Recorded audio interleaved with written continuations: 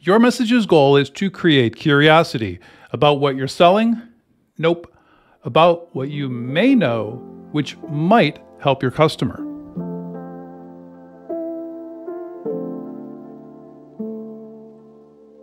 You see, as a seller, we tend to believe my job is to get a meeting, or we think I need to qualify the potential customer by establishing need, building rapport, finding the pain, and building a relationship.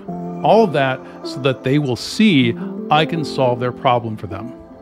But this is actually the wrong and very dangerous way to think about it. This is how marketers view the world, but it's not how a seller should.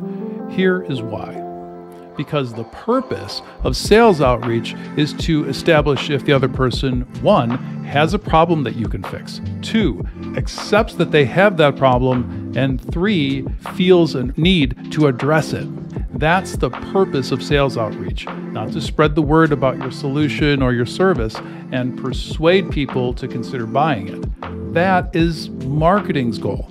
Okay, so let's say that you're reaching out to someone for the first time a cold email, a cold call, or a cold LinkedIn message.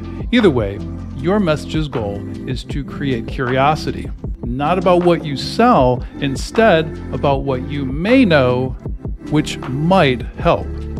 Now, I know that you've been told be specific about the problem that you solve and don't waste the prospect's time. Well, that's fine.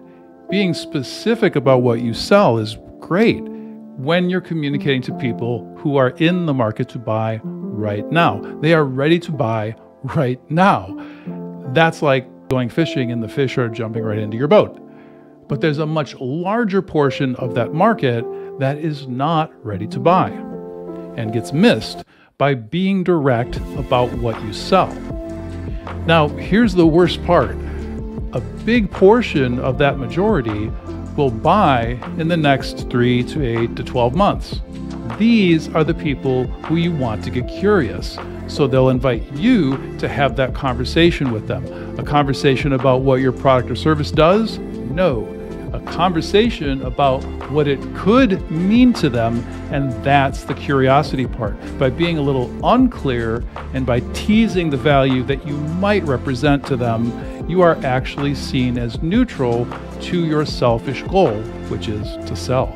Now, if I've sparked your curiosity about this strategy, let's discuss it down in comments below. See you there. All the best.